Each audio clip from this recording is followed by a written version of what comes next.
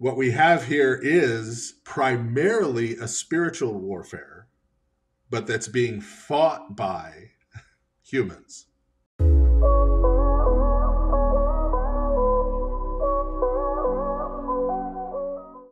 Well, hey everyone, what is up? Welcome or welcome back to my channel. And welcome back feels particularly appropriate this time because this was the first interview I've done in like a month. I took the month of December off to rest and recuperate, finish up some grad school applications, enjoy some time with family, do some wedding planning, all of those things and it was fantastic. So thank you all so much for waiting in that time for new content and for new interviews. And I'm so excited to bring you guys this one today. It is with a returner to the channel, Father Stephen De Young. I think you're really going to enjoy it. We talk about everything from giants, demons, spiritual warfare, divine violence, and how to read the church fathers yeah, it's a wide ranging conversation on his latest book, God is a Man of War, and I think you guys are really going to enjoy it. But before we jump into it, I want to say a real quick thank you to my patrons, subscribers, and merch buyers. And if you want to be a merch buyer, get new merch like this, which has come out recently. Go to gospelsimplicity.com and then click on the merch button.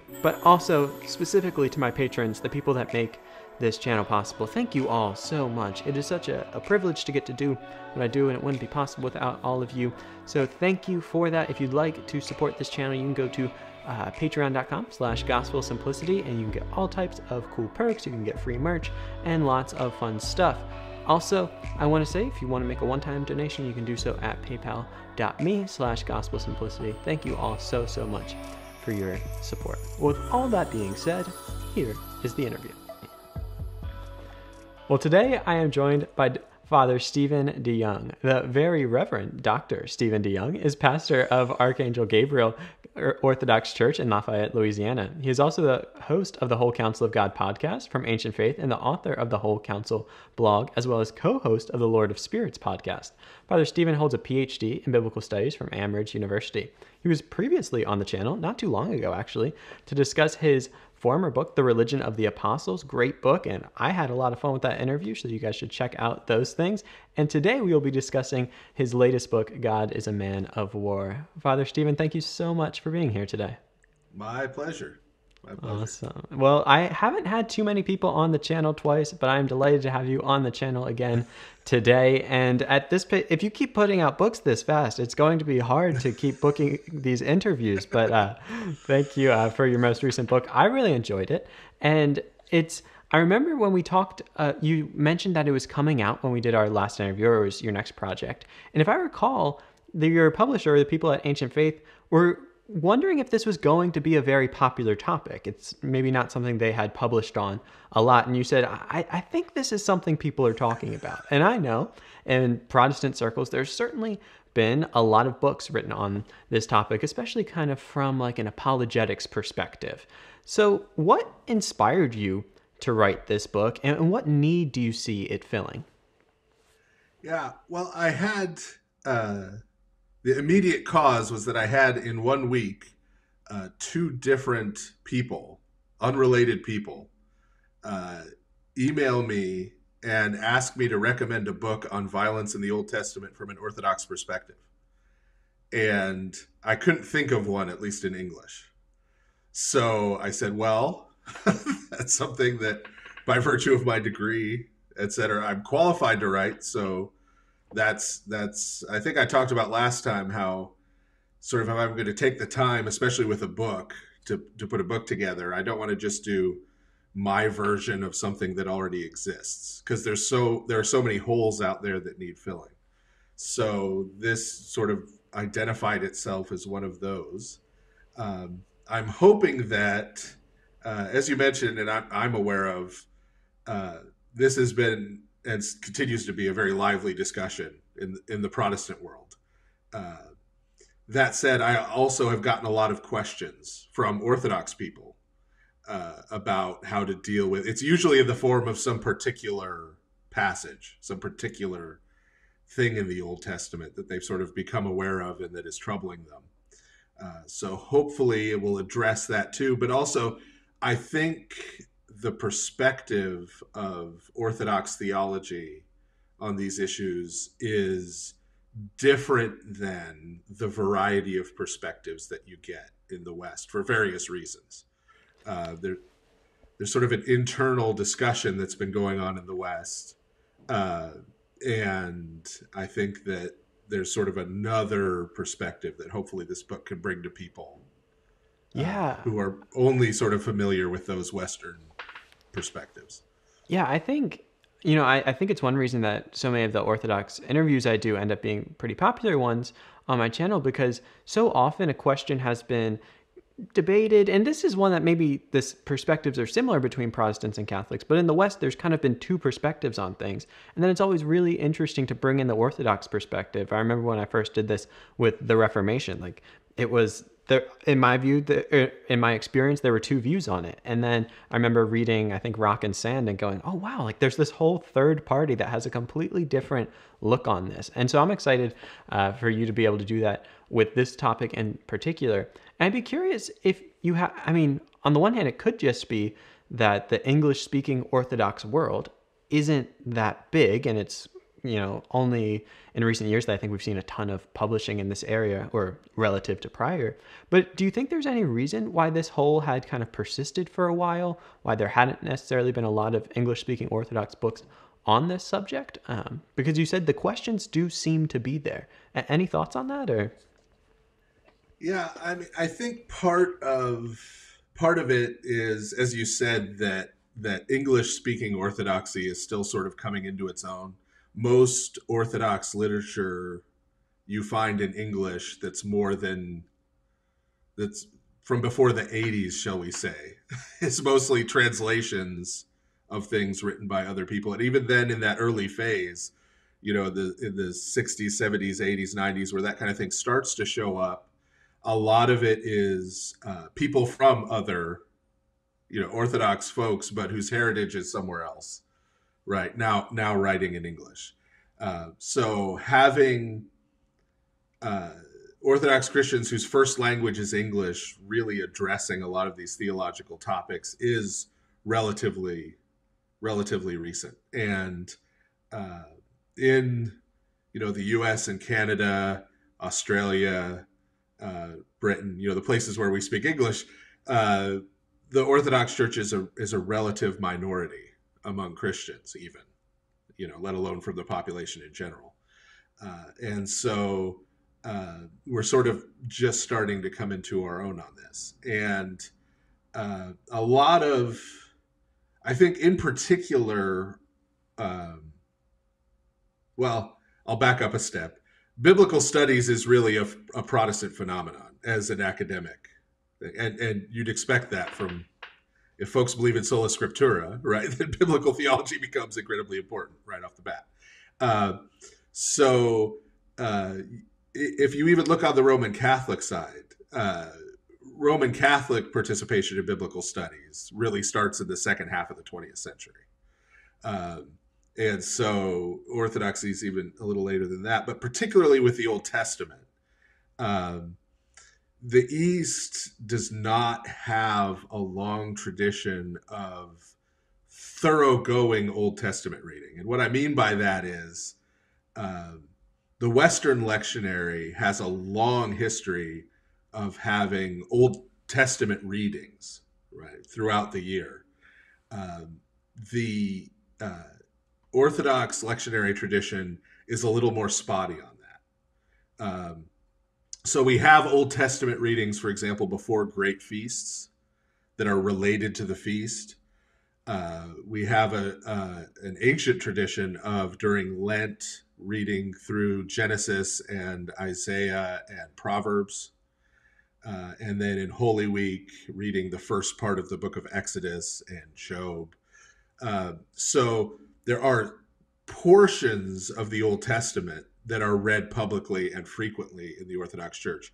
But there are other portions of the Old Testament that, as an average churchgoer, unless you're doing your own Bible reading, uh, you're not going to encounter in a regular church year uh, in the Orthodox Church.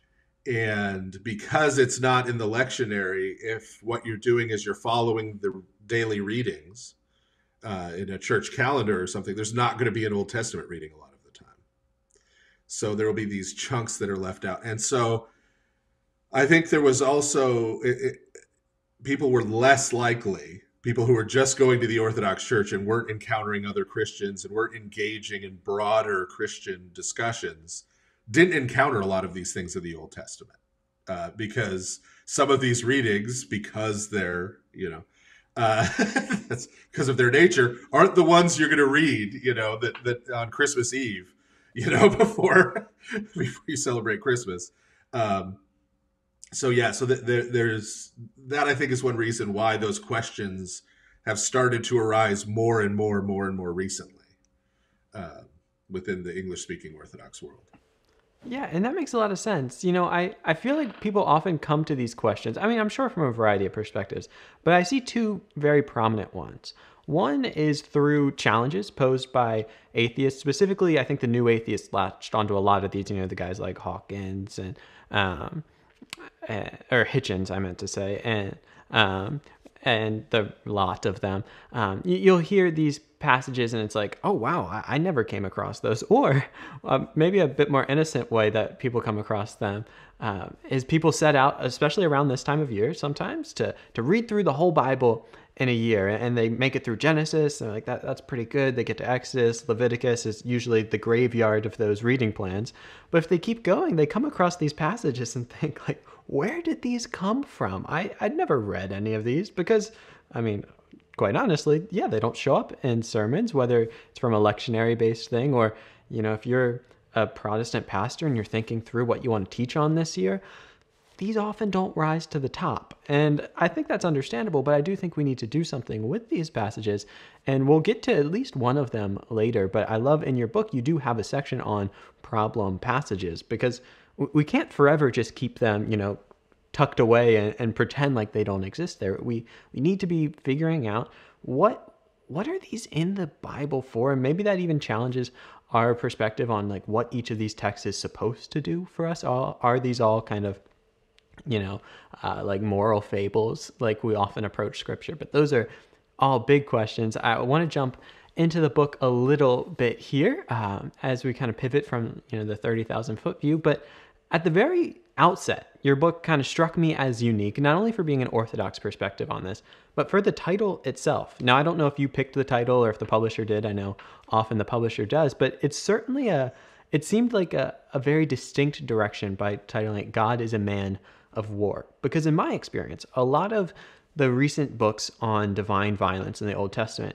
have as kind of their express purpose in a way to kind of tone down that whole man of war violence con uh, all of those themes and overtones. And you, you display it on the front. You got a red cover big god is a man of war. Talk me through that a little bit. Like what what was the thought behind that because it, it, it seems to be intentionally kind of going against the the current a bit it's no secret that today perhaps more than ever people are struggling with their mental health. I think if I asked you all to virtually raise your hand and said, hey, are you currently struggling? Have you ever, do you consistently struggle with mental health, be it anxiety, depression, or whatever?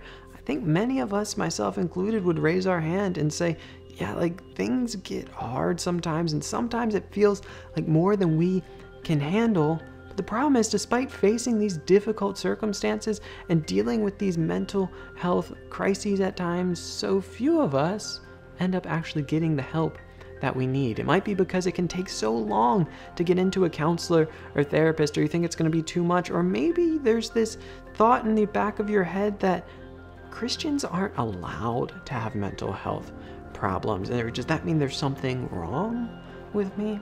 Well, from the beginning of my channel, far before it had any type of reach or influence, I have wanted to do my part to help end that stigma. That's why one of my first videos I ever made was titled You Can Have Jesus and a Therapist Too, hoping that that would give people the permission to go out and get the help they need without being worried about these shameful stigmas that people have attached to it.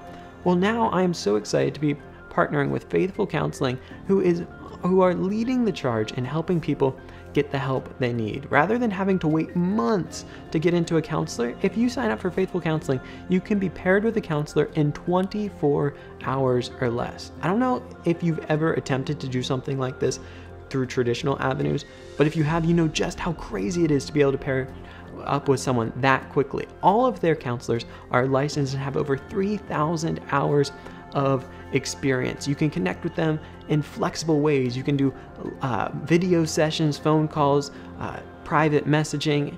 It is really fantastic. They even have a live chat. It is such an amazing service. I'm so excited to be partnering with them, and I'd really encourage you to check them out. We're going to faithfulcounseling.com slash gospel simplicity. If you do so, you'll get 10% off your first month.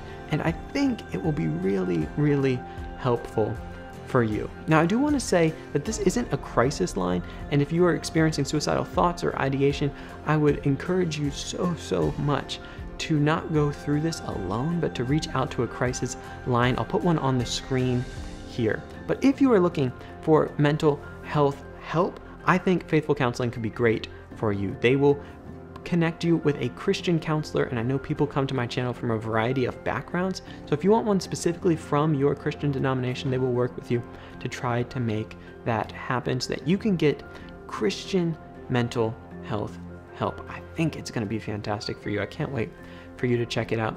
Again, that's faithfulcounseling.com slash gospel simplicity. You get 10% off your first month. After that, it'll be $260 per month, but there is financial aid available for those who qualify. Once again, guys, don't hesitate to get the help you need. faithfulcounseling.com slash gospel simplicity. Yeah, I, I did pick the, the title, and uh, there was a little resistance to it, but not a lot in terms of, of using that as the title of the book. Um, and I mean, the title itself, of course, is uh, from Exodus uh, 15, and so I said, well, this is this is a book about explaining violent, disturbing passages from the Old Testament. So I'll take this violent sounding verse from the Old Testament, make it the title. So the book sort of does what it says on the tin, you know. Um, but uh, I was also happy with. I did not design the cover, but I was very happy with it because I think it kind of looks like an '80s Christian metal album, uh, a little bit. Um, but the uh, uh, the idea was that I, I didn't want to, as you said. I mean, you were very kind about it. I didn't want to sort of try and soft pedal, right? What's there, um, and that's for that's for several reasons. Um, the the I mean, we, we view the, the violence in, in scripture as a problem, but the violence that's in the scriptures and the way in which God responds to it and God is found even within it, uh, that's our key to understanding violence that exists in the world. And even if we were to soft pedal and say, hey, none of this stuff ever happened, and whatever we want to say about the Old Testament, violence is still in the world. People still experience violence and are victimized by violence. These things happen. And they've happened since the ancient world. Um, they, you know, I don't want to sound like Steven Pinker. They probably happen less now than they did in the ancient world, but uh, they still happen, right? And um, that has to be if we then sort of marginalize the violence that is in the Old Testament, then we don't have any key to understanding the violence in the real world. Uh, if we just say, "Oh no, God has nothing to do with it," then you know people aren't going to be able to understand their their experiences in the real world. So, I think that's a key part of why it's there, and and why we can't soft pedal. It'll it will come and confront us, sort of anyway, and. Um, I understand why it's hard to look at too. When you write a book like this, you have to kind of strike a balance, I think, and it's sometimes a difficult balance. There's there's a semi-famous quote from Stanley Kubrick. Uh, someone asked him when Schindler's List came out. Uh, Stanley Kubrick was known as a director for sort of putting things on screen that were shocking or disturbing, you know, despite the fact that it might hinder the blockbuster status of some of his movies. Um, and so someone asked him what he thought about so many people going to see a movie about the Holocaust, right? If he if he ever thought that would happen. And Stanley Kubrick said Schindler's List isn't about the Holocaust. Said the Holocaust is about 6 million people who were murdered. Schindler's List is about 200 people who survived. People will go see right? The story of 200 people who survived horrible violence. They don't want to deal with the reality of what happened there. Uh, and it's not just a question of scale. In fact, sometimes those numbers protect us. I mean, if if uh, the story of a single human child in one of these Old Testament stories was told in detail, where he knew who this was, that would be more than anyone could take to read, you know, unless they were a sociopath or something, you know. Um, so you have to strike a balance between conveying the reality of what's there and the reality of what exists in the world, but without it becoming something that no one can bear to look at or something that's sort uh, sort of pornographic, you know, in the depiction, lurid, you know, in the, the depiction of, of violence. You don't want that either. Um, and that can be difficult to strike. And so I don't blame anyone for sort of soft pedaling it, right? If you're going to err on one side or the other, you're probably better off erring on that side, right, than than the other. But I, I wanted to be as honest as possible and direct as possible in saying, no, you know, what's there and how do we deal with this? How do we understand this? Yeah, I really appreciate you making that link between the violence in the Old Testament that we come across and the violence in the world. And I, am not, you know, cultured enough to say this with any authority, but I, I do wonder in part that perhaps those of us in the West struggle so much with these problem passages because we've lived, for the most part, a lot of us, or I can speak for myself at least, free from really egregious violence happening close to my home. You know, for people that grow up in completely different worlds or in times of, war or different things, I imagine you might read these passages differently. There's a very famous quote from Miroslav Volf around that kind of idea around uh, God's justice and how could you make sense of that until he went through just some horrific things. And I also appreciate you talking about kind of striking that balance of being honest with the text, but also so being honest on the one hand, but not going so far that it becomes these lurid depictions. Um, I, I, think you do so wonderfully in the book, and, and I really do appreciate that about it. You start the book, and this is kind of in that vein, but by talking about some of the bad answers that we give to the problem of divine violence. I imagine you know one of those is just kind of ignoring it or completely soft pedaling it. But what are some of those other bad answers you think we typically give to this real kind of uh, struggle for people as they read these passages? Yeah, yeah, and and they're bad answers because they don't really deal with and answer the questions people really have, right? So, um, and sometimes these are given. You're in kind of a debate or quasi debate setting with someone who is pointing to these Old Testament passages, maybe even in bad faith, like from a from a new atheist perspective or something, where they're they're casting it in the most negative possible terms, you know, and just try using it as an attack.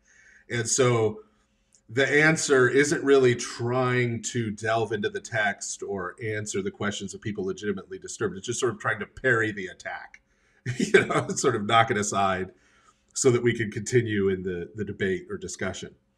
Uh, so uh, one of one of them uh, that is unfortunately very common now is just to say, well, none of that stuff actually happened, right? So, and sometimes they'll even try and make it quasi scientific by saying, well, there's no archaeological evidence that X, Y, Z happened right? Well, there's no archaeological evidence of most events in the ancient world, right? By that standard. So, uh, unless you want to believe, say we believe know nothing about the ancient world, we know nothing about the Bronze Age. You have to, at some point, you know, believe some texts. Um, but uh, the idea that none of this ever happened, or this is a parable, this is a moral story, this is a fable. It's trying to communicate this or that lesson, but it didn't really happen, so you don't have to worry about it. So God didn't really do that, or God didn't really tell the Israelites to do that, right? It was just sort of this object lesson. Uh, that actually, if you, while it sounds like at first, oh, okay, well, then I don't need to worry about it because it didn't happen. Uh, that, if you think it through, is actually worse. right? Uh, and here's why. If I came to you and said, So I follow this religion, and I worship this God, and I have this book that will tell you all about the God I worship. Now, this book is fiction. This book is just a series of stories that will tell you what my God that I worship is like, right? And that we use as a guide to our lives. And then I handed you Game of Thrones, right? You would probably look at me and be like, uh, right? like, right? So if we posit, right, this is fiction. So God could have told any story he wanted to to to to reveal himself to us. And he chose to tell stories full of violence and rape and and killing and genocide and murder right? That makes god look very bad shall we say right? Whereas if these are things that happened and what we're receiving in the text is god's perspective on these things that happened. Why they happened how they happened what we should learn from the fact that they happened. Right? Then then that potentially we still have to work through the text but that potentially uh, allows even something despicable a story of sin and and and horror can still reveal god to us in a certain way right if we're if we come to understand it and understand the perspective from which it's being told um, and that's that's related closely to one of the big downfalls of a certain reading.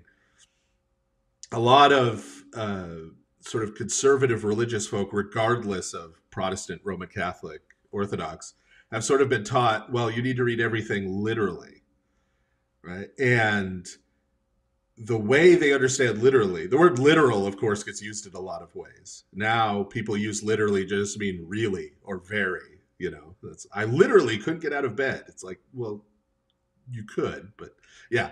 So um but uh literally is taken to mean that the primary claim that's being made by the text is that this happened right? So uh it's not commenting on it meaning it's just saying that it happened and a corollary to that is then people think, well, if the Bible has this in it, if the Bible's describing this event, as opposed to other events that it could have described, that the Bible is automatically saying that this is good. Right? So when we read the book of Judges and we see all of this mayhem and murder and destruction, right?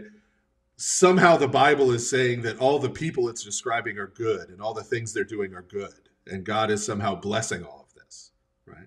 Whereas it should be very clear, especially the historical books of the Old Testament, if we read them in context, that a lot of, if not most of the people described are not given God's approval. Uh, this is the constant refrain all through First and Second Sam, well, First and Second Kings primarily. Uh, that you know, here's all the horrible, wicked things this person did in about a paragraph. And then if you want to read about all the other things they did, go read their annals, go read the official, you know, they'll tell you about all the good stuff they did. But here's the bad stuff.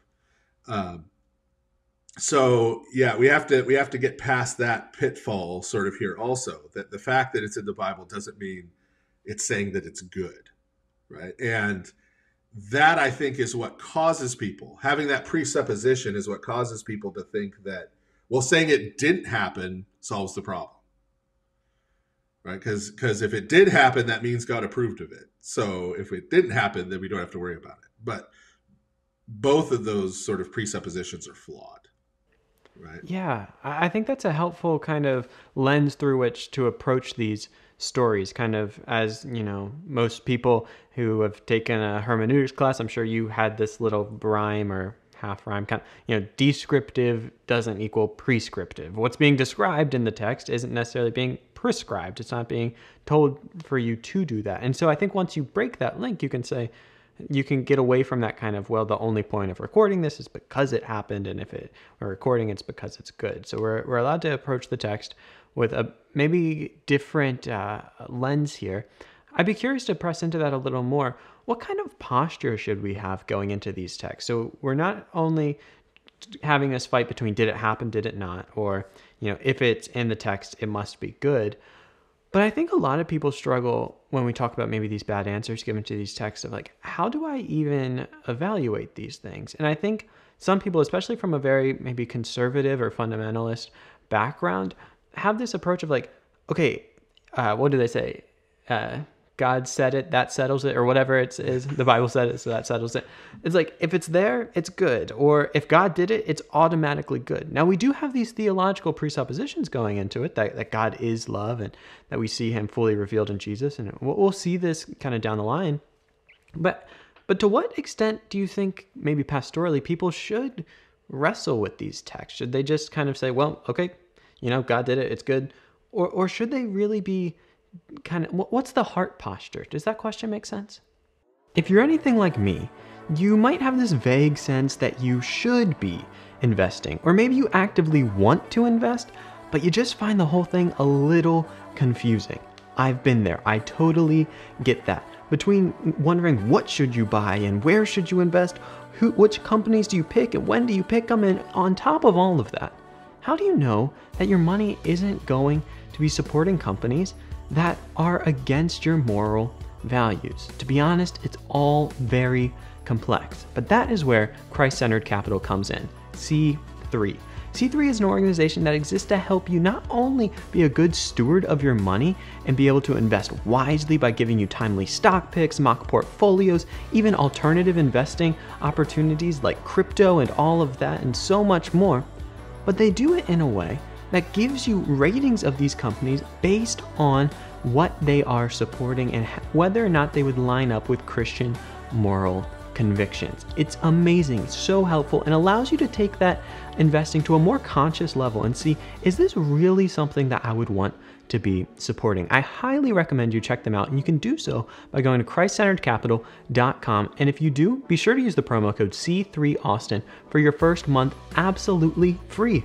You don't even have to pay anything. You can see if you like it, see what kind of services they offer you. After that, it would be $7 per month. And just so you know, 50% of those profits will be going back into Christian organizations like pro life organizations, Christian colleges, and much, much more. They're a great organization that I'm so happy to be partnering with. And again, I'd encourage you to check them out at ChristCenteredCapital.com and use the promo code C3Austin to get your first month free. Yeah, yeah. I, I I think um, the the first thing that has to happen is that whole question of did it happen? Did it happen exactly like this?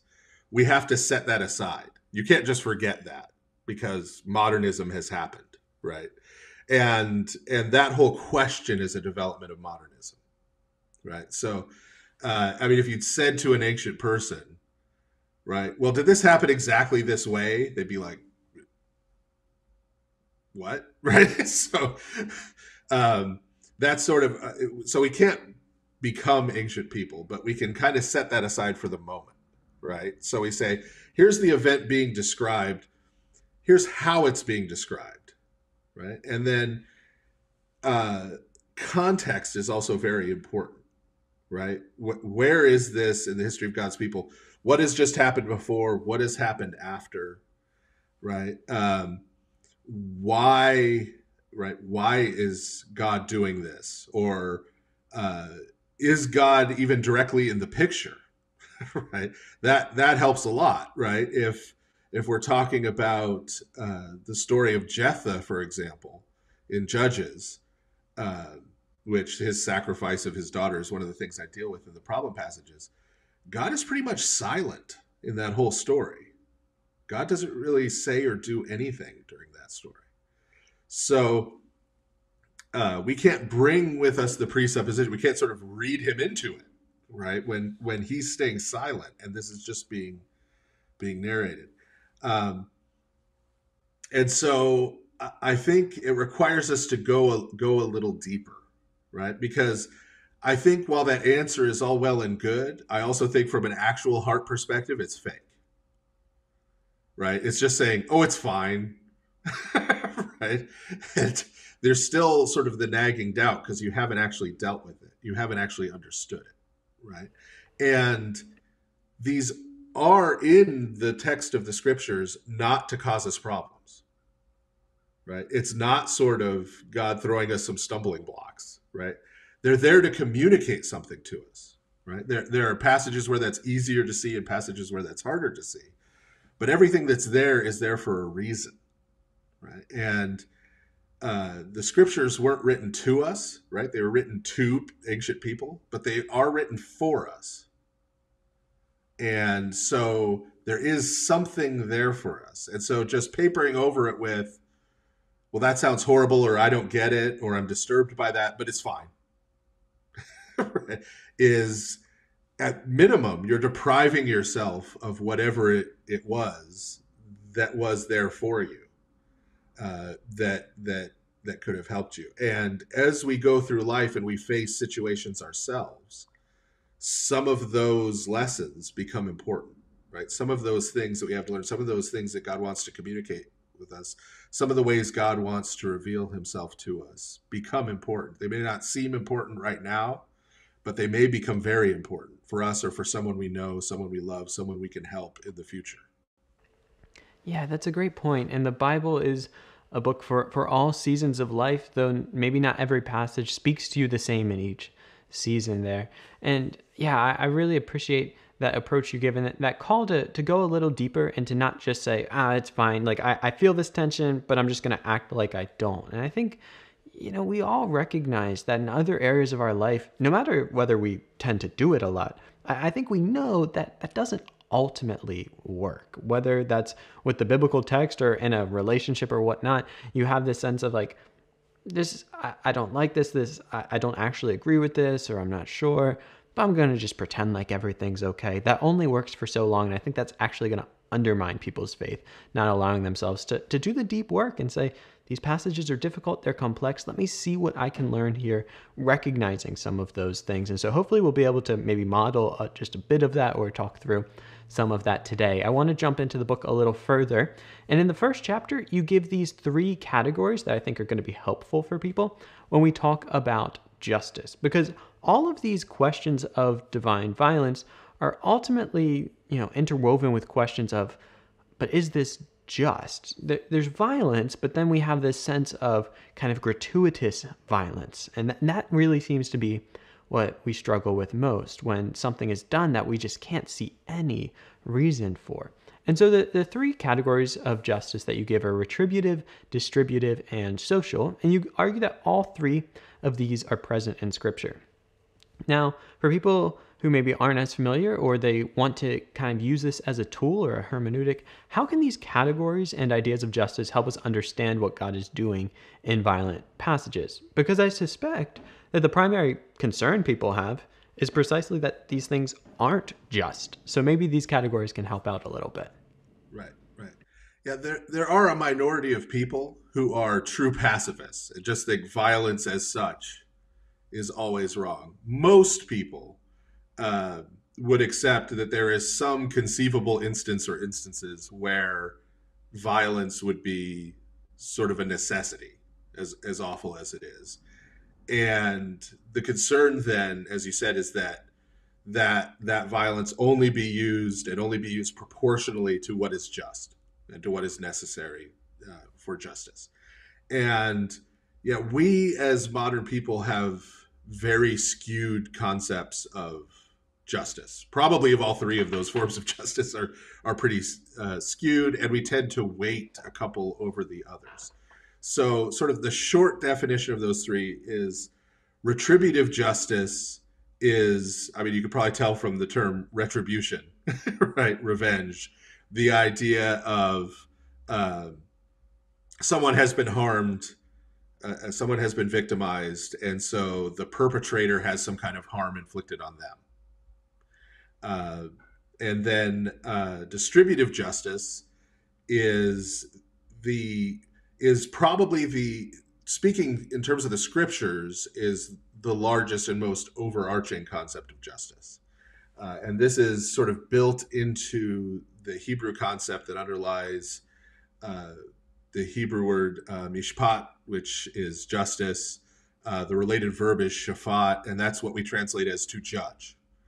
Uh, and justice in that sense it's and this is not just an israelite thing this is over the ancient near east so the egyptians have a concept of ma'at that's very similar to this other cultures as well the idea of justice in this sense is that everything in the world is in its proper place and is functioning properly. Everything's interrelated, but everything is the fabric of the cosmos is all knit together correctly.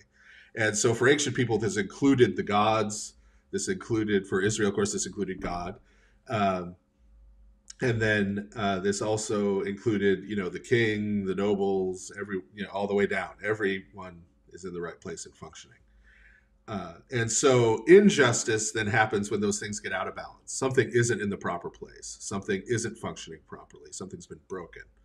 And then to judge means to restore that balance. Right. And that's why the judges in the book of Judges are called judges, even though they're not sitting and hearing cases and hitting a gavel, right? but what happens is things are out of balance. Some oppressor has come in to Israel because Israel has sinned. So Israel sins and throws things out of balance. God sends an oppressor, they repent, and then God raises up a judge to set things right, to put things back in order. Uh, so that's distributive justice. Uh, and then uh, social justice is a super loaded term today in the United States, especially. Uh, but what I'm getting at there in the book, and in terms of how it functions in in Scripture, is the idea that justice doesn't just pertain to human agents. Uh, that it's not just a question of this person did this action and it is right or it is wrong, uh, but that justice also has to do with the societal structures and cultural structures that we create as humans, right? So, uh, regardless of what you think about various social justice movements, I think pretty much anyone you ask can think of a law that they think is unjust, right, and should be changed, right? Um, or think of some societal or cultural situation that they think is unjust and should be changed. Uh, we would all disagree probably about what those are, but we all understand that category.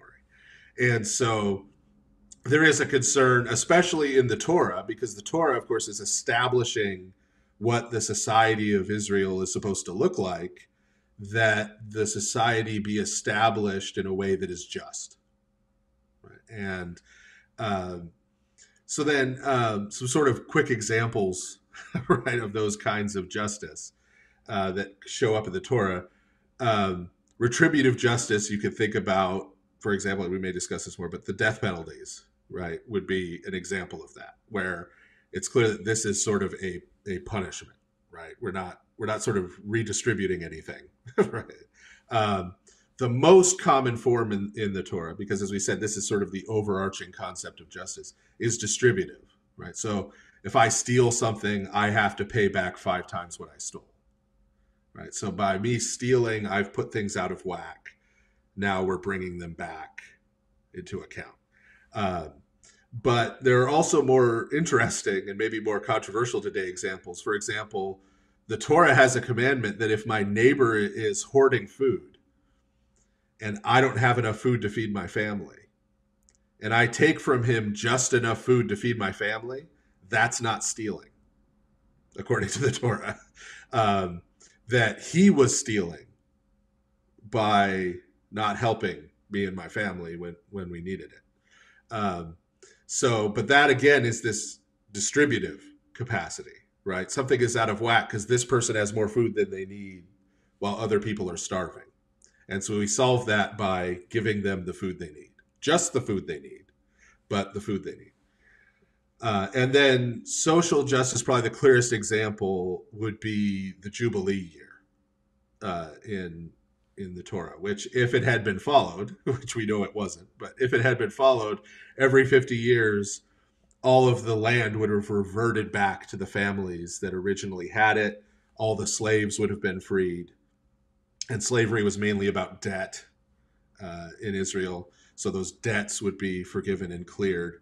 And that would have prevented what we now call generational poverty, right? So I could be a bad businessman or lazy or what have you and squander my inheritance, right, for my family. But my son and my grandson would get another shot. They'd start over again on a level playing playing field. and if they were more diligent than me and, and more honest than me and, and did better than me, they would not be penalized for what I had done. Uh, so that that is an attempt to put in place a social structure that would uh, establish justice and, and prevent that sort of ongoing ongoing issue. And so I, I think when I mentioned that we sometimes emphasize some uh, to the expense of others, I think in the West, in the modern West, uh, our focus has primarily shifted to retributive justice. And I mean this culturally, in the sense that the way we think about crime and punishment, right? like um, the way we think about, you know, and, and, and even when we're just talking about putting someone in prison, we say, well, this this certain amount of suffering is proportional to somehow the evil thing you did. And so once you have suffered this much, you spent this much time in prison, you've paid the penalty, now you've paid your debt to society, right? And so now now now things are balanced because you've endured this uh, this hardship or this um, suffering. And that plays out theologically too. Penal substitutionary atonement, obviously being the biggest example, right?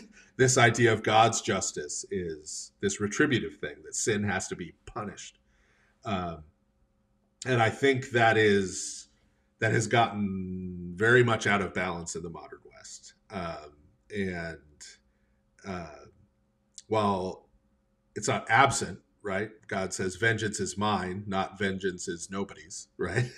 um, but uh, that that the balance needs to shift a little more uh, if we're talking about the way it is in the scriptures to uh, distributive justice with retribution and social being sort of components underneath that that are part of that that functioning. Yeah, you know, it's it's really interesting, and I think you're right. I think that retributive justice has at least at like the foundational level of how Western societies think about what justice is, has really been probably the most definitive type. That that's how we think, like you said, crime and punishment, or different. You know, we're thinking of this idea of the the, the punishment fits the crime, and that there's some type of equality there, and that's our go-to method. But it's also intriguing to me because I, I think in criticisms of Scripture and maybe this makes sense if this is what we're most familiar with, but it's often retributive passages that get criticized or that cause people maybe the most unease. And maybe that's because we have this ingrained sense of retributive justice, and this is something we can identify as retributive, but seems odd. I appreciate you giving those other examples as well because I think they do challenge us if I don't think anyone kind of, no matter where they land on the political spectrum or just ideological spectrum, gets away from the Old Testament without feeling challenged by the, the world they set up from the Jubilee year um, to what you mentioned with the, the food there. All of these things are super interesting. Now, you talk about a move towards distributive justice with those other two kind of informing it. Now, when you talked about that, you talked about how it's actually linked to their whole cosmology, which I know is something that you are, are big on. And in your Lord of Spirits podcast, you guys do a, a lot to kind of help draw out ancient cosmology. To, to what extent then is the Bible's sense of justice tied to its cosmology? I imagine this is where we find you know your chapter spiritual warfare which is absent from most i haven't surveyed them all but i imagine most books on divine violence don't have a chapter on spiritual warfare or a section on I'm going to probably butcher this pronunciation. Gigantoma, gigantomachy, gigantomachy, well, however you say that word. Not a frequent one for me. Um, but but I'd, li- I'd like to tie these things together, right? So distributive justice is related to Israelite cosmology. To understand their sense of justice, how important is it that we understand how they viewed the whole cosmos that had to be balanced? Right. I, well, I think it's uh, critically important that, um, and I think this is another place where a lot of times we we go wrong um, because uh, we tend to read the Old Testament like materialists. Um, we've been again as as we're modern people, whether we like it or not, uh, and so there's this tendency where we sort of we have these brackets uh, where we'll bracket certain things, and how wide those brackets are sort of depends on your your religious sensibilities. Uh, so some folks, like our liberal Protestant friends, have very narrow brackets, right? You try to talk to them about angels and demons, even they're going to look at you sideways, right? Um, they've kind of got God in the brackets, and that's about it. Um, and then you know that'll expand a little more to uh, in, in, other groups. So if you talk to, say, an average conservative Protestant, they'll have those brackets expanded to sort of what's in the Bible. Right? If you start trying to talk to them about a miracle outside the Bible, they're going to go, eh. right? And you know they might accept it, but even if you present it to them as, you know, my uncle was miraculously healed, and we all pray for healing for people, right? But if you say my uncle was miraculously healed, they'll kind of want to look and make sure there's no material explanation for it before they'll say, okay, I guess it was miraculous, right? Um, so, but if it's in the Bible, it's miraculous, right? That no problem there. It's inside the brackets. Uh, and then if you're talking about most um, traditional, at least Roman Catholic and, and Orthodox Christians, because of we've got the miracles in the early church and martyrs and that kind of thing, brackets will come out a little more, but they're still there, and eventually you'll hit the edge where where af- and outside of those brackets, we're just as materialist as Christopher Hitchens or Richard Dawkins. That's um, I won't go into it. I don't know how consistent they actually were, but um, the uh, but but we look at things the same way. We look at things as if we were a scientific atheist, unless they're inside those religion brackets, religion category.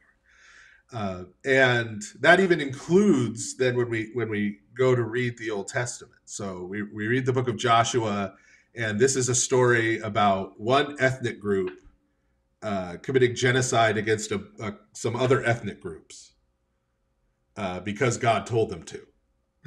right? That's the read. And so even the problem is addressed from that perspective.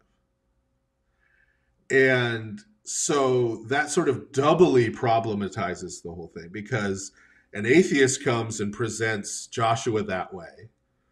And rather than the Christian who's responding questioning that portrayal of what's happening, it's substituting a different cosmology uh, within which these events are taking place, he accepts that reading and then finds himself in the position of trying to defend genocide. Well, no, here's why genocide was okay in this instance, right?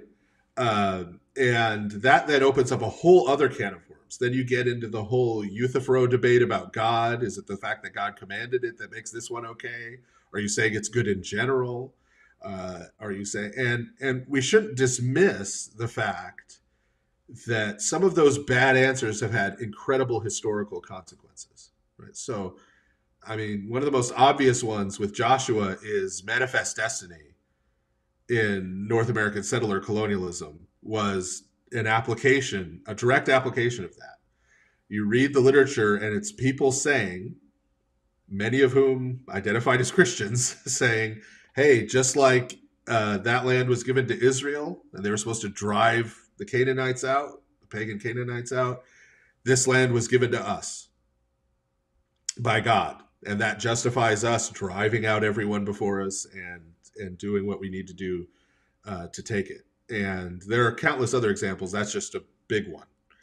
Um, and that obviously that that's perpetuating violence and even ascribing God's name to it, even though He hasn't actually said that. Right? Um, so we have to take a few steps back and question those basic presuppositions about the world. Right. So, uh, is what we're talking about, first of all, uh, in Joshua, are we talking about ethnicities? Right. The concept of an ethnicity as it exists today, the concept of DNA, right, didn't exist. Uh, and what what made people part of a certain people group whether it was Israel or whether it was one of these Canaanite groups that are called giant clans uh, in the the Old Testament. Uh, what what made someone part of those groups was determined ritually. So what made you an Israelite was not a certain ethnicity, was not sort of you traced your DNA back to Abraham somehow without science. it was that you had been circumcised if you were male, or you were married to or the daughter of a circumcised male, and you ate the Passover. Because doing those things put you into a relationship with the Israelite community and with God, with the God of Israel. Right? And so now there's this community includes God. You are now a part of it. Right? And those relationships between you and God and you and the rest of the community are part of that order of justice. Now, uh, this is part of that cosmology. Um, and likewise with these giant clans, they had rituals of initiation, which were sexual in nature. Uh, and they participated in acts of human sacrifice, uh, we're told in the sources, these giant groups. So that's what made an Amalekite an Amalekite was that they particularly participated in these rituals that brought them into communion with each other and into communion with the demonic powers who were involved in those rituals, who were at the other end of those rituals. And this is why you find in the Psalms all the gods of the nations are demons. St. Paul says what the the uh, Gentile sacrifice, they sacrifice to demons. this is that view, right? And so what we have here is primarily a spiritual warfare, but that's being fought by humans. Um, that's that's taking place between humans. So the Amalekites, who are one of these giant clans, attempted to exterminate the Israelites um, while they were at the base of Mount Sinai.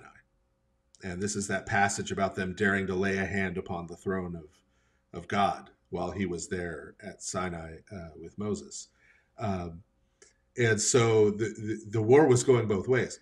But what that also means is that when we're talking about there need to be no more Amalekites, right? The, the Amalekites need to be wiped out. That doesn't necessarily mean, on the material level, every single one of them needs to be murdered right? What it means is these practices that make one an Amalekite, the rituals, the practices, uh, those have to be stopped. Right? So it was possible for actual humans within those groups to no longer be Amalekites. All they had to do was participate in the initiation rituals and the rituals of another people group. So just as we see examples in the Old Testament, uh, like Caleb and Ruth of people from these other nations becoming Israelites, right? You, there were people who went came and left from other people groups, uh, and the scriptures themselves say this. This isn't just me coming in with some external stuff. Every time God speaks about those people groups being an exception, it's a specific list of giant clans who are practicing these particular things he always ties it to the abominations which they practice. And that's why they can't just sort of be left around because if they're if if there are still Amalekites, that means they're still doing these things. And this is why you get the language of is Israelites will end up being seduced by them, right? Israelites will end up coming and becoming Amalekites or Hivites or Girgashites or whichever one you want to pick, uh, whichever ite. um, and so that's these these rituals these these things have to be have to be put a stop to and in a, in a realistic world right well it would have been nice if israel could have just gone to them and said this is the torah. It comes from our god. You should all become israelites. Uh, they weren't all going to become israelites voluntarily especially people who are practicing things like that right? Because worship works both ways right? We understand that through our worship of, of God in, in Jesus Christ, we become more like Christ, right? And we're transformed and our lives are transformed. But the same happens the other way. This is why St. Paul didn't want the Corinthians to be in communion with demons, right? Because it, it transforms them as well, right? And so they weren't, most of them were not just going to flip a switch, right? And so there comes a point where if they refuse to stop practicing these things, what solutions were left in the late Bronze Age and early Iron Age, right? Um, and that's still shocking to them. Well, you're saying go and kill all of these people, right? But I, I've said to people, you know, if if you knew, not you thought, you suspected, you had a conspiracy theory, but you knew for a fact that your neighbor was abducting children and sacrificing them to a pagan god, would you just give them a tract? Right? Would you would you sit and pray that they would see the light? Or would you call men with guns to to go to their house and stop them from doing that anymore? And if the person refused and resisted those, he would probably end up getting killed, right? Eh, but knowing that, I think all of us would still go and say, no, this has to stop, right? This cannot continue. Uh, it would be unjust to let it to let it continue, right? And so, if you have whole cultures, whole tribal cultures built around these kind of practices in the ancient world, right? Uh, we we would all think, I think, it unjust if we didn't do anything right? I, I, think anyone you asked today would think it would be unjust for the Western nations to just let Hitler do what he wanted. Well, hey, we don't want to do, engage in any violence, right? we, should, we should just, you know, hope he repents, and, and, and right. So, so there is a line that all of us know instinctively is there. Uh, and, and and that comes from God and from what justice is. Yeah, I I, I want to slow down here a little bit for some people sure. because I recognize that like those brackets you talked about, the people watching this video are going to have very different sized brackets, and so some of them might have listened to your stuff before, or maybe uh, you know Lord of Spirits or or some similar stuff, and be like, yeah, yeah, I, I've got all this. This is all like I'm familiar. I'm good to go. Others might have said giant clans yeah. What, what, are we talking about here? Um, so I, I recognize that even people who may, you know, be really into biblical studies and all of these things, they they might just not find themselves in these circles where these are conversations that are being had. If they are interested in these, I know I had uh, Dr. Michael Heiser on to talk about demons once. They might enjoy that interview. But I, I want to kind of just slow down right there for some people. Sure. When you say giant clans, what are you talking about? Yeah. yeah. So this this is related to uh, the uh, particular to the initiation rituals uh, in, terms of of these groups. So we see this first referred to in Scripture in Genesis six one through four, uh, where it talks about the sons of God and the and the daughters of men uh, engaging sexually and and then giving birth to the the Nephilim, which is uh, from the same root as an Aramaic word Nephilin with an N, which just means giant. um, now the word the word giant, uh, we immediately think of size, right? We think, oh, that's a tall person. As somebody who's six foot four, I don't like being judged, so don't. Um, but um, uh, that word actually, both in Hebrew and and in Greek, uh, uh, actually, in addition to sort of size, carries with it the idea of a thug or a bully or a tyrant, right? So the the English equivalent I usually point to is the way we'll use the word strongman to describe a dictator. Right. We say that person, you know, Panamanian strongman Manuel Noriega, right? We don't mean he had an incredible bench press, you know, that like he was this guy was just really ripped you know it's it's a term that conveys the idea that this is a dictator this is a he rules through force he rules through violence uh, and so a reference to size or even a depiction of size was a way to convey this right?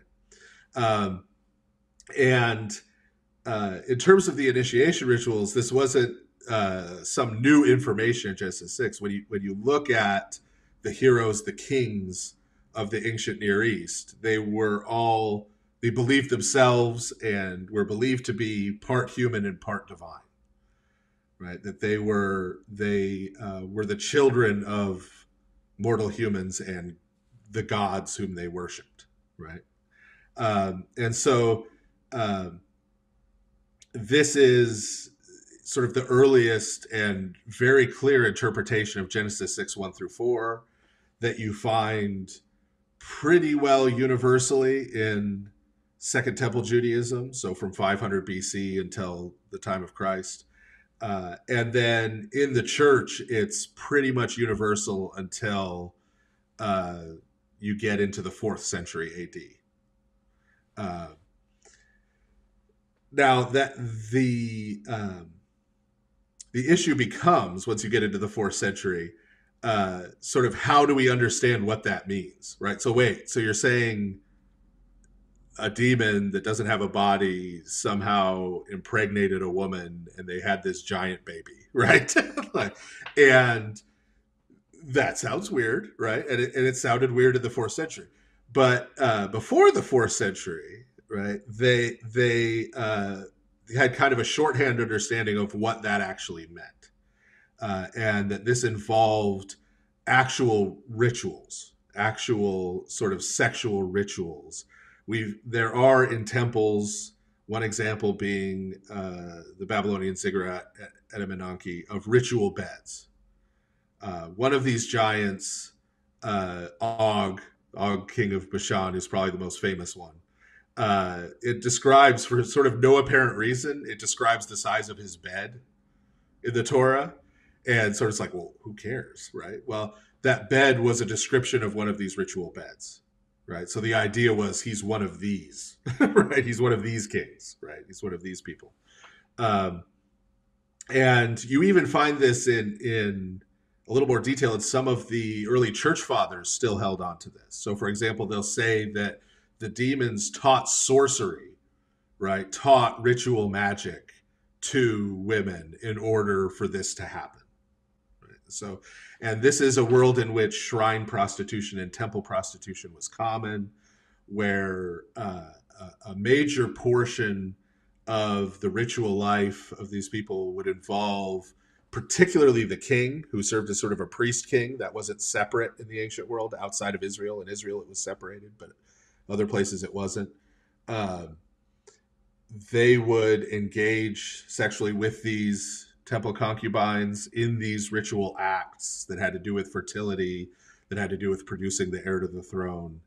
Uh, and so uh, these kind of sexual acts were an initiation into these sort of tribe and clan groups that were governed by uh, these kings or leaders or princes or giants or strongmen or whatever we want to call them.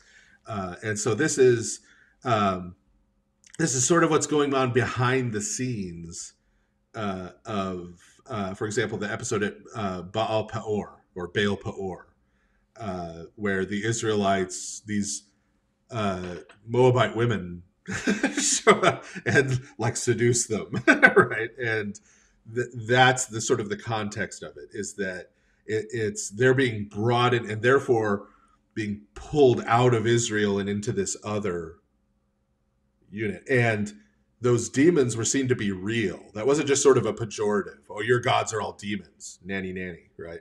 It was these were seen to be real evil spiritual powers who are out to corrupt and destroy mankind. So Baal Peor is humans being drawn out of a relationship with Israel's God and with his with God's people and into a relationship with these demonic powers and people who were serving those demonic. And that was being done through these sort of sexual rituals. Uh, yeah, so that's what what you get in the fourth century is that there aren't pagans around anymore, around Western Christians. St. John Cassian, his big argument against this understanding of Genesis 6 is, well, why doesn't this still happen? Well, because he didn't see it happening because there weren't any pagans around anymore. But it was still happening in Mesoamerica, and it was still happening in Japan, and it was and and a, a version of that ritual goes on in Japan to this day with the Japanese emperor. You could look it up online if you don't believe me. So. there, you, there you have it, folks. Yeah, I, I think there's ah, there's so much I want to get into there. I think that's really helpful for people to kind of slow down there just in case they weren't familiar. And I, I hope that this was very interesting for them. I know it, it was for me. There's two tracks I want to go down. I, I think we've got time to follow one little rabbit trail before I, I press in with a, another question on divine violence about that.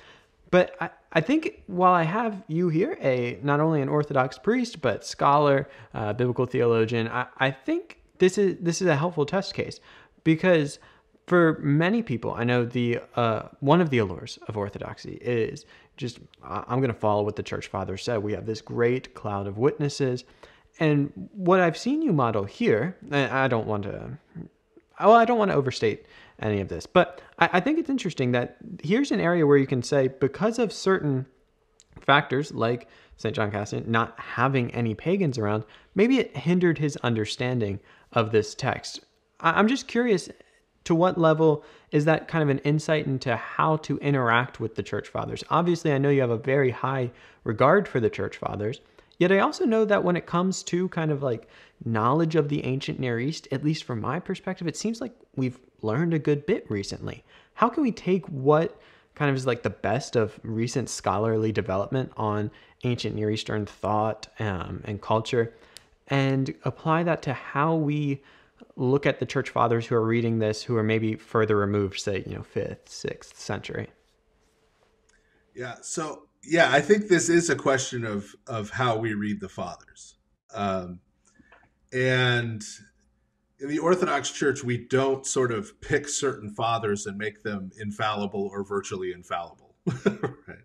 Um, so there is no single church father ever right who is completely infallible and who has nothing incorrect. They're they're way better off than i am but but not you know 100% um, and so i think one of the dangers especially for people who come from a western background and then come into orthodoxy is that they they sort of treat the church fathers the way they used to treat the Bible, especially if they're from a more almost fundamentalist kind of background.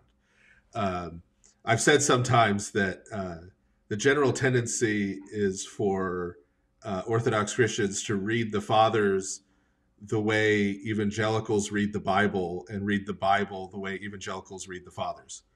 Uh, meaning, certain Orthodox people will kind of pick and choose and kind of eh, throw their shoulders up on certain biblical passages uh, but then everything a church father says, they proof text, right? And sort of take it take it very literally. Um, and so uh, that's I don't think is a healthy or good approach to the church fathers.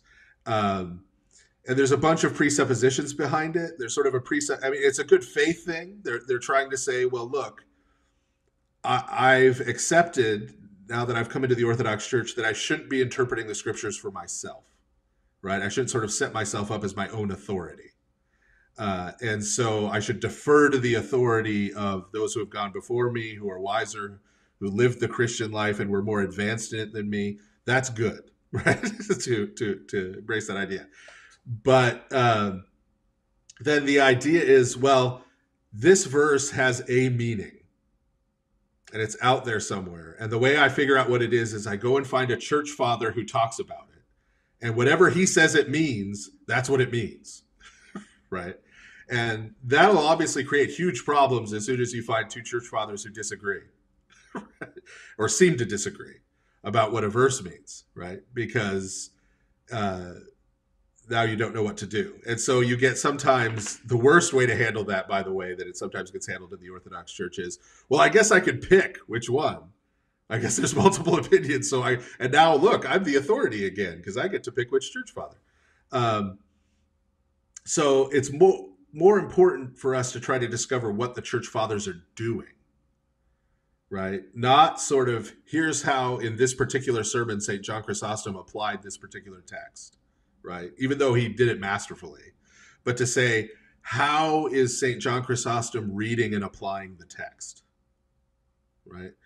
how is he doing this right and trying to learn to do that ourselves we, we call this sometimes i know you had dr Jeannie on here uh, the the phronema right the the mind of the fathers which is also you know what st paul called that mind which was also in christ so that we can look at things and see them and, and interpret them correctly right and so when i see the fathers disagreeing and this was this is a good I think, object lesson in that, as you pointed out, that we have this sort of complete uniformity before a certain date among all the fathers.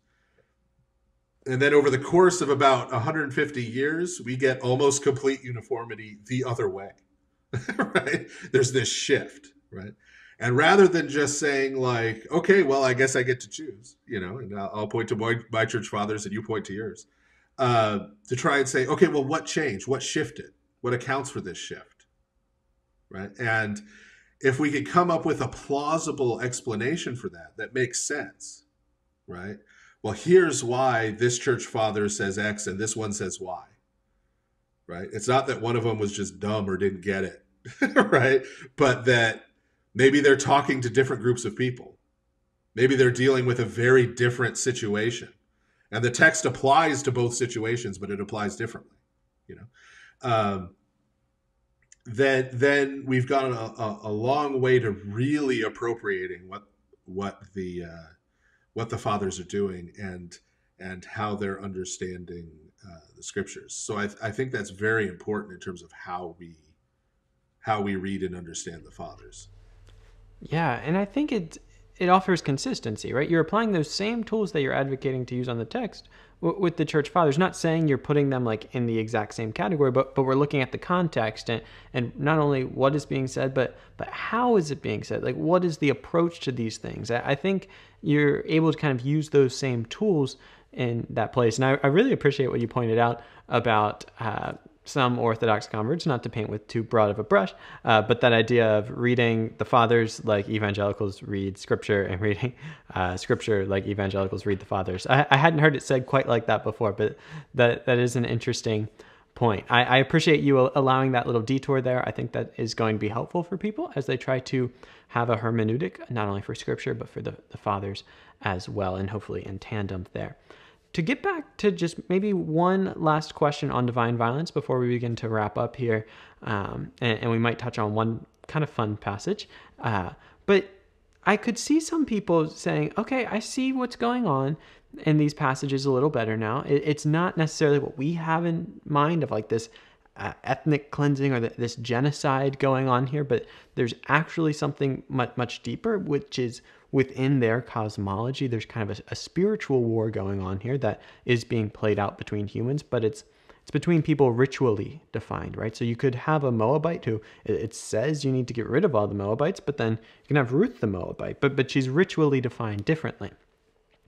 But I could also imagine people who on another level, their kind of Western pluralism kicks in and says, like, wait, like, what are the consequences of this? Could this not be applied to say like the the Salem witch trials, right? Like that those were people kind of ritually defined, but I think a lot of people today maybe recoil from that, or they wonder how how much further do we take that, right? Like, okay, maybe people aren't killing people, but I, I think their religious practices ritually defined are harmful. To what extent can they coexist in this modern diverse world? Do you see where I'm going here? I, I think people might struggle to say on the one hand yeah in extreme cases child sacrifice like nobody wants that happening and this makes sense. But on another level like how far does that go? Right and i think that's why it's important to uh, one of the one of the um, the uh, chapters in the book is on holy war and uh, one of the things that I talk about in there is that there are commandments, and this is very unique in the ancient world. There are commandments in Deuteronomy in particular uh, dealing with how Israel is to conduct itself in war. And there are very strict rules. And then you get to these giant clans, and there's this exception. I mean, it's literally except with these groups, right? And that's it. And this language uh, is used throughout the Old Testament. The, the analogy that tends to be used is the cup of someone's iniquity being full or not yet being full. Uh, there's never a place, this is one of the differences between the Torah as law and the religious law of some other groups is that there's never a call for Israel to go and impose the Torah on the world right? It never says you need to go and conquer, you know, the Philistines and get them to stop eating pigs, right? Um, you need to go and circumcise Egypt, you know, by force. There, there is no call to do that, right? And in fact, not just in Deuteronomy, but in several specific places, God forbids Israel from taking any kind of action against a group. And that group that's being talked about is pagan. So they, they are worshiping other gods, they are worshiping demons, according to the text. There is injustice there, there is evil going on there, right? But but God is not ready to intervene there, right? With his, with the Israelite armies or in another way. I mean, sometimes God acts very directly, like Sodom and Gomorrah, right? Um, and and it's fire from heaven. Sometimes it's the Israelites. Sometimes it's a pagan army. For example, the Assyrians, when God brings judgment against the northern tribes, uh, or the Babylonians against against Judah. Uh, so there is a point which is known only to God, a point of His choosing, at which now is the time to intervene. He is the one who judges that. That's why vengeance is His. Where there's a balance between uh, providing humanity opportunity to repent, to change, to turn back to God, and the cries of the victims, right? The, the blood starting with Abel that cries out to God from the ground for justice. Um, and there, there, there's a point where that balances out and where God needs to act on the part of those those victims to establish justice, or he wouldn't be just right? We, we wouldn't call him a loving God at that point, right? The, the people who are going on sinning and sinning and sinning and not facing God's justice would think he was a loving God, but the victims certainly would not right? find him to be a loving God in that in that situation. And when God believes that a civilization, or in the case of the flood, the world, has reached that point, then he intervenes through the means of his choosing uh, to to put us put a stop to it. And we see this play out in the New Testament very much with the return of Christ to judge the living and the dead, because that's going to be the point at which it's over. Uh, Saint Peter says, you know, don't wonder why he's delaying. This is for the sake of mercy, right? So there's many people as possible could find repentance. But in Revelation, you have the souls of the martyrs beneath the altar crying out, "How long, O Lord?" Until we are avenged right so so this this happens and you alluded to uh, uh, near the beginning of the interview that we're in a relatively privileged place most of us who are having this discussion and the people who are concerned about as you said you know the coexist bumper sticker folks right? And and this embrace of cultural diversity uh, we're we're not most of the time victims crying out for justice.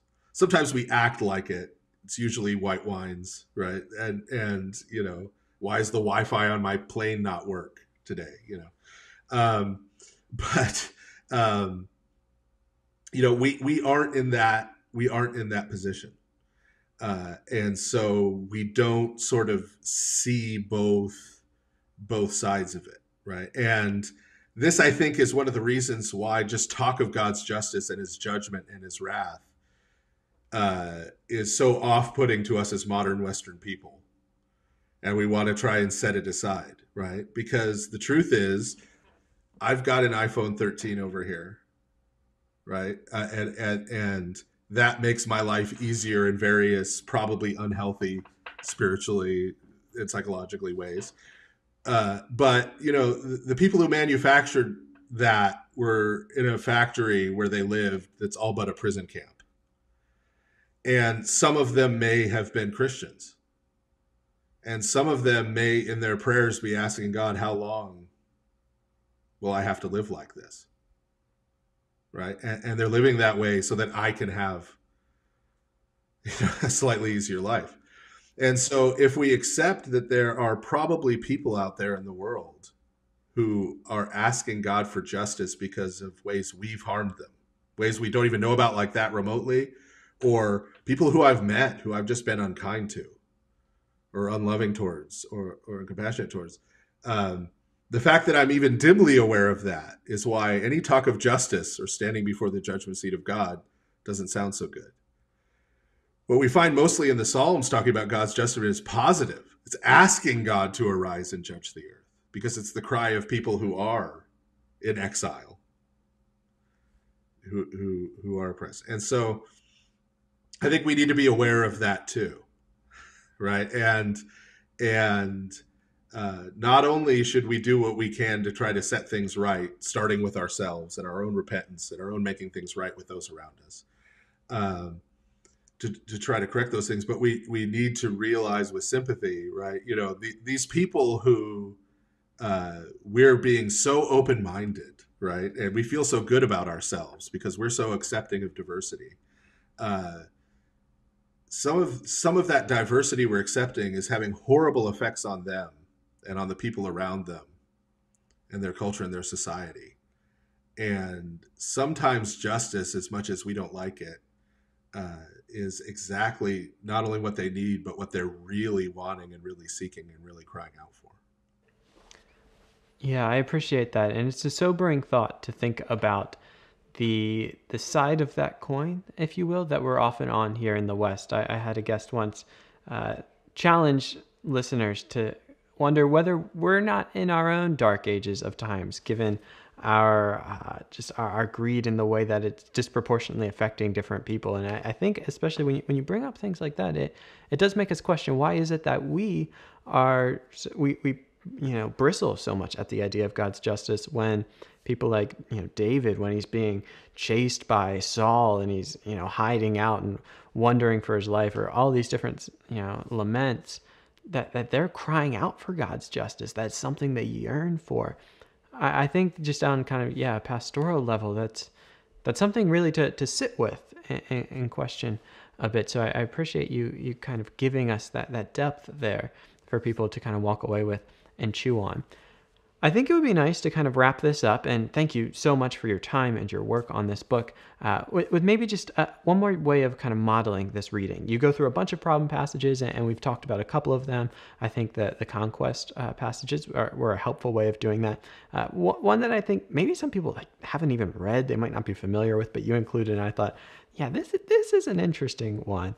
Is uh, it's it's from Second Kings, uh, chapter two, with Elisha and the she bears.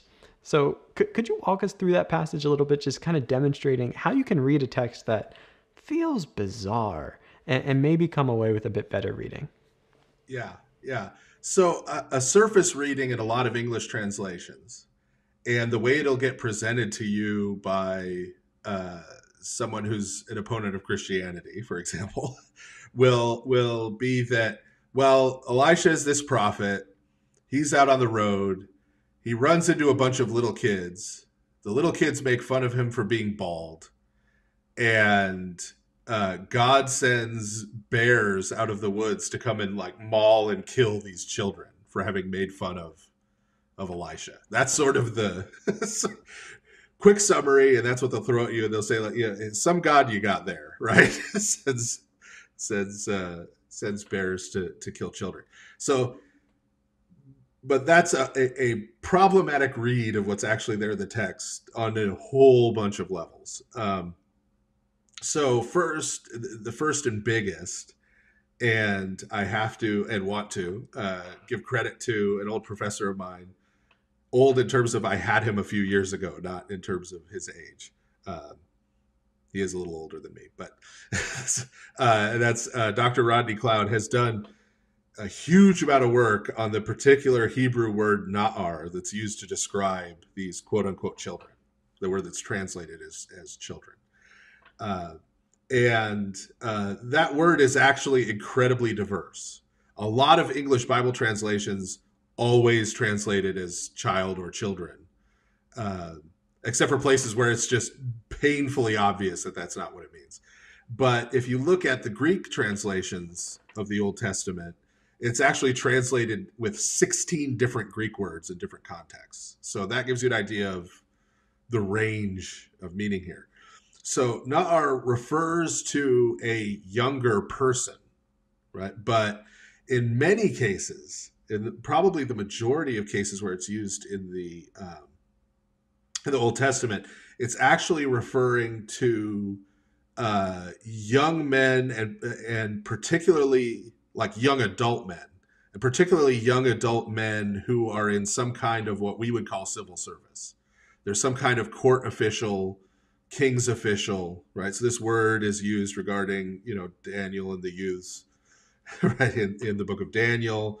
Um, this is also used of like some of Saul and David's warriors. So they weren't sending like children into battle with armor and swords, right? These were sort of the young, the young up and coming officials. So right off the bat, as Elijah is walking, or Elisha is walking on the road, he's he encounters a group of of fifty uh, of these young adult, right, uh, officials.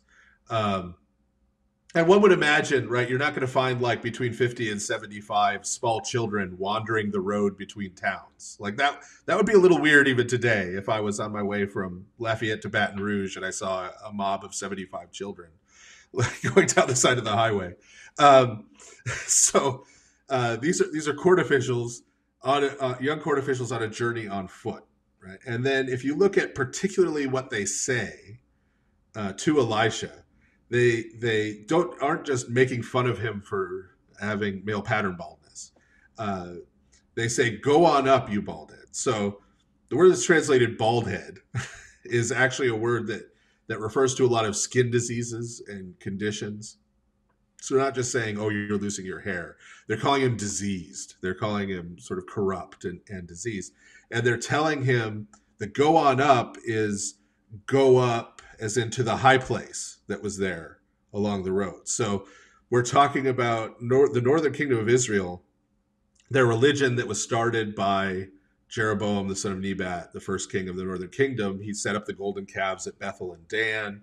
He had developed a sort of paganized version of the worship of the God of Israel. Uh, and then since then, it had gotten worse, right? People are familiar with Ahab and Jezebel, with Elijah, Elisha's predecessor.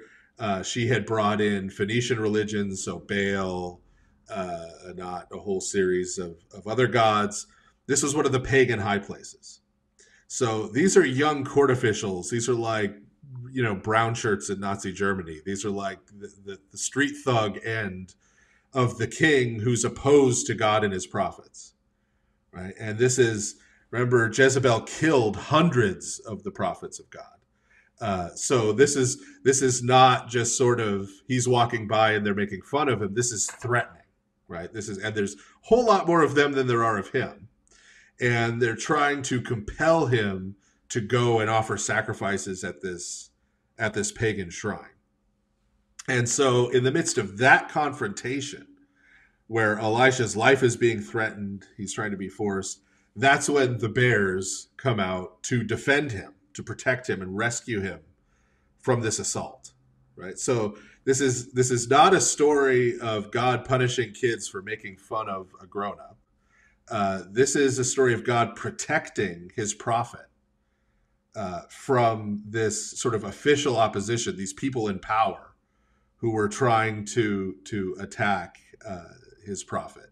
And so sort of nature itself rose up to to defend him so that's that's a very different story, and it's conveying a very different lesson about the protection of God, even if you're living in you know and and we talked about how you know different points in our lives and different situations these can become important. If you're a Christian, as many Christians, particularly in the 20th century, living in a totalitarian kind of state, right? Living living in a place where there is uh, uh, even today in many countries of the world. There's official opposition where your your life is on the line. This story of God using even the elements of nature to protect someone who is faithful to Him. This could be a very powerful story if read in that original context with understanding. Yeah, it really can. And I think it's a great example of not necessarily taking an antagonistic reading or just a seeming surface reading at, well, surface level, but really digging in like, what is the text actually getting at here? Because again, none of us want to be in the position of defending God for killing children for pointing out that someone has male pattern baldness. Like, that's a really odd moral position to try to defend, but often that's what people in good faith attempt to do. When in fact, they, they don't actually have that heavy of a moral burden to carry there if they can just dig into that text a little deeper. Now, granted, that's going to take some work to, to learn some of these things. And well, luckily for us, today there are more resources available than ever of people who have put in like a life's work on a single Hebrew word. But we can glean from those things and glean from other people uh, to, to help with those things. And we can start by reading your book. Uh, so, th- so thank you so much uh, for this. This really has been a pleasure. I think you were one of the last guests I had on previously before I started doing this thing called the Final Four, which are four rapid fire questions. But before we jump into that, I just want to make sure is there anything you'd like to leave uh, listeners, viewers with uh, about either the book that you haven't been able to say or just uh, about this topic in general? Yeah. Well, just just a super brief tidbit, dovetailing off of what you just said. The the way the book is structured is I go through sort of principles first for the first several chapters, and then the final chapter is sort of dealing with those problem passages. So what I'm hoping someone will come away with is what I'm, I'm trying to model. Okay, here are biblical principles, and then here's how we can apply those in these passages. So I'm hoping. I don't want people to read it, as I was just talking about with the church fathers, and say, "Oh, well, De Young is right on this, so I'm just going to go with whatever De Young says, you know, on this, on this, that, or the other. But I'm, I'm hoping to say, here's a way of approaching the text, so that people will go and approach the text using that same kind of method, even if they come to different conclusions than me, because I may, on some of my specific conclusions, I probably am not correct. So. Yeah, I, I appreciate that humility, and the structure of the book is really, really helpful in that. So, so thanks for all the work and intentionality you put into this. Of course, there'll be a link to the book down in the description if people would like to go check that out. But without further ado, uh, I will jump into the final four, which is just a nice way for people to get to know the guests. And like I said, I think I think you missed this last time. So here we go.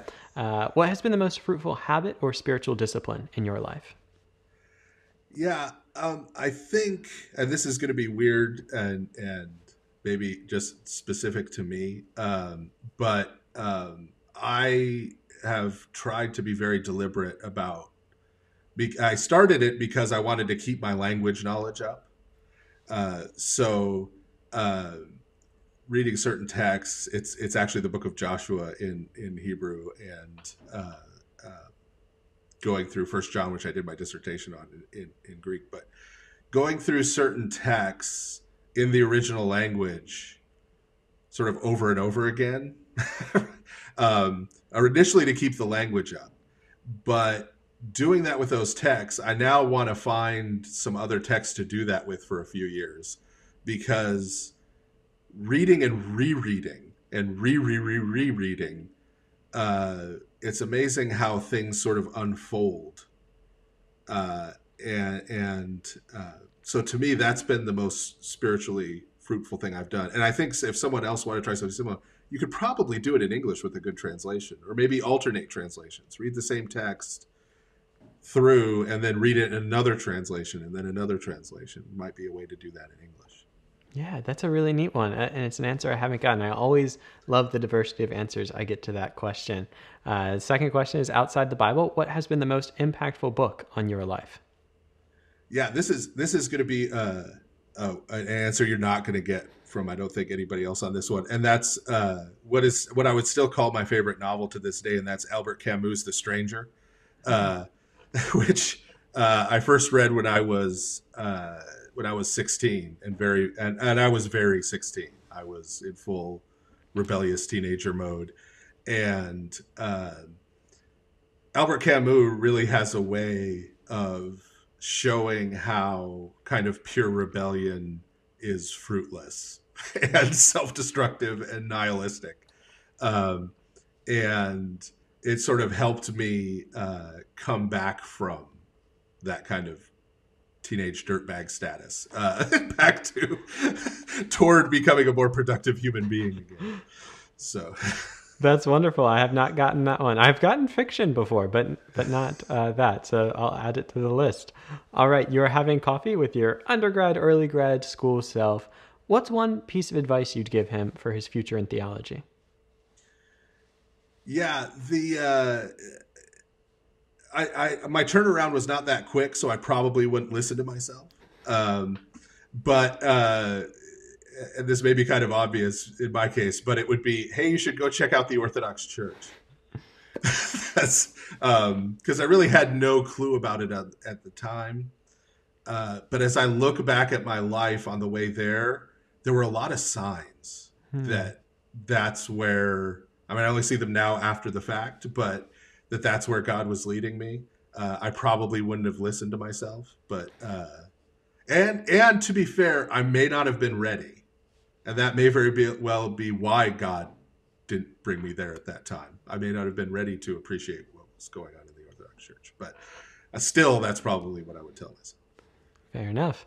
All right, last question, and I might be biased, but this might be my favorite question I get to ask all my guests.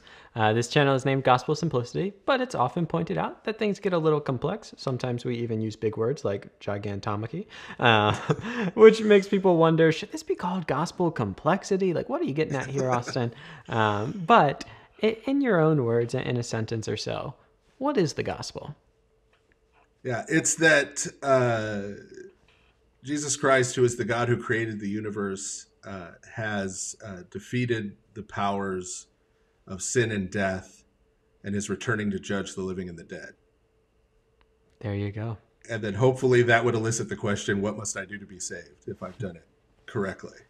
there you go. Well, Father Stephen, thank you so much for your time today. This has been such a pleasure to have you back on the channel. And I'll close as I always do by telling everyone until next time, be on the lookout for more videos, but far more importantly than that, go out and love God and love others because truly, above all else, that will change the world.